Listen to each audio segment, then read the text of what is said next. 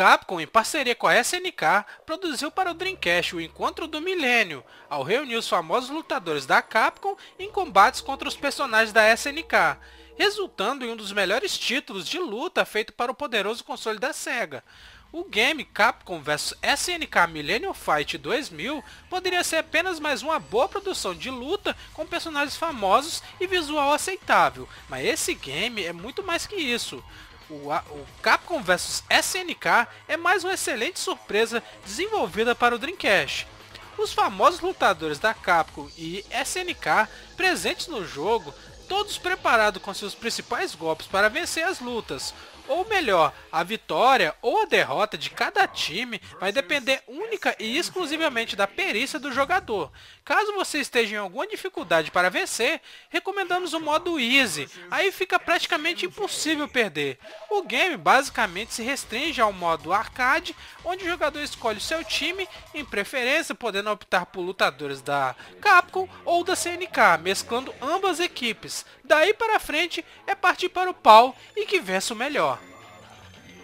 Em si, o crossover entre a Capcom e a SNK tentou agradar gregos e troianos de todas as formas possíveis, e tudo teve início em sua concepção de arte.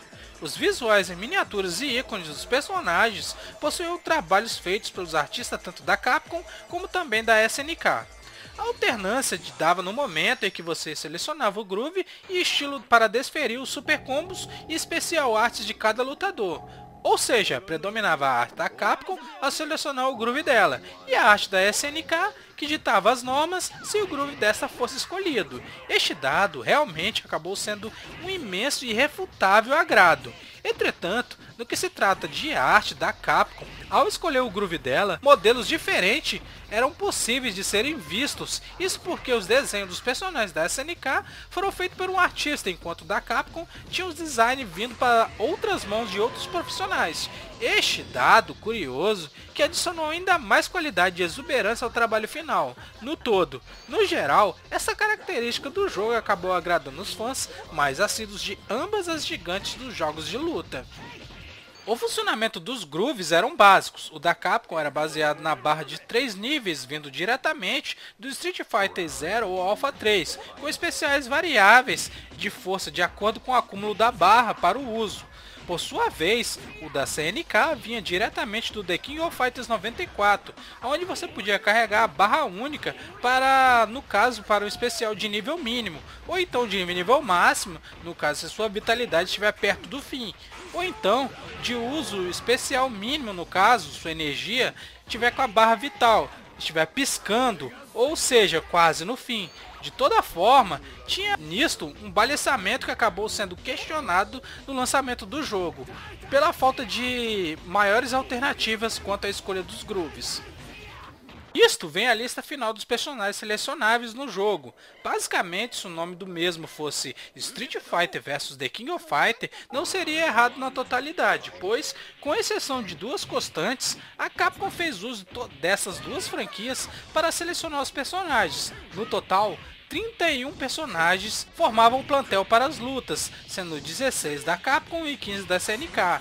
Este montante, 5 combatentes eram secretos, em si, todos os listados nos jogos foram divididos em três rátios, que na época foi uma atribuição dada à força dos lutadores em si. Era possível uma luta de quatro personagens contra dois, por exemplo, seria um time de quatro com um ratio de 1, ante uma dupla com um ratio de 3 e um com um ratio de 1.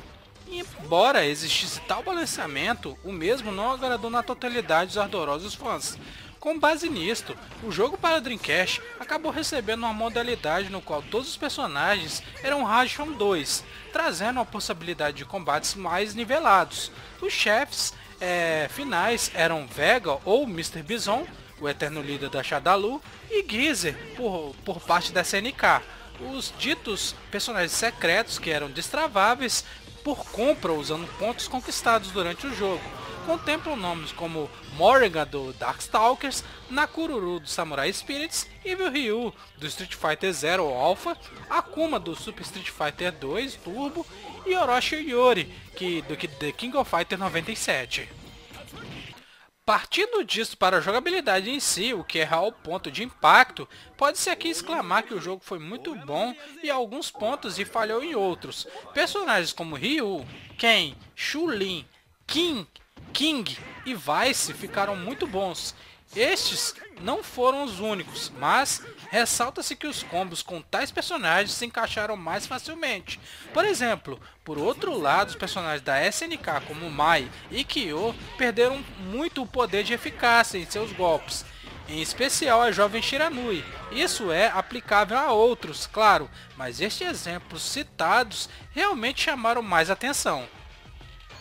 Mas no âmbito geral, mesmo partes negativas citadas e não atrapalham a boa experiência que se tinha com Capcom vs SNK Millennium Fight 2000. Contudo, este jogo não teve uma versão para o PlayStation 2. No lugar, a Capcom lançou em agosto de 2001 a Capcom vs SNK Millennium Fight 2000 Pro, diretamente para o PlayStation 1. Teve também uma versão para Dreamcast. No console da Sony, que já vivia os seus últimos momentos de vida, o jogo foi adaptado de uma maneira que pudesse usar o máximo possível da capacidade do mesmo, enquanto que no console da SEGA se manteve toda a qualidade conhecida somando a adesão dois personagens também presentes no sistema da Sony. Nesta adaptação citada antes, o jogo contou com um ponto que testou muitos casos, a paciência dos jogadores. Isto porque no Playstation, é, Capcom vs SNK acabou usando e abusando dos tempos de carregamento, o famoso load times. Tecnicamente os gráficos tentaram ser mais fiéis possíveis em relação à versão para Dreamcast. Embora fosse notória a pixelização e o baixo frame rate, falando nos personagens, os novos integrantes do jogo, tanto no Playstation como no Dreamcast, foram Dan Ibik, do Street Fighter Zero, e Joey Higashi, do Fatal Fury já presentes na seleção de personagens necessidade de serem liberados como secrets. Os efeitos sonoros estão muito bons, o barulho do impacto dos golpes e vozes dos personagens são convincentes. A trilha sonora é apenas razoável. O cenário muito bem construído proporciona um ótimo visual. No geral, a estrutura gráfica está matando a pau. Os comandos são simples para efetuar os golpes comuns, mas no momento combos especiais é necessária uma sequência de tanto complicada, como o grau de desafio pode ser ajustado. Depende da perícia do jogador, para que os combos fiquem mais fáceis ou difíceis. Capcom vs SNK Millennium Fight 2000 Pro é mais uma ótima pedida para os felizardos e usuários do Dreamcast, que tem privilégio de poder possuir uma verdadeira pérola gameística, afinal de contas, esse game é um baita jogo de luta para o Dreamcast. Bom, vou indo nessa, não deixe de curtir e compartilhar o conteúdo do canal. Valeu, falou, até a próxima, fiquem com Deus, fui!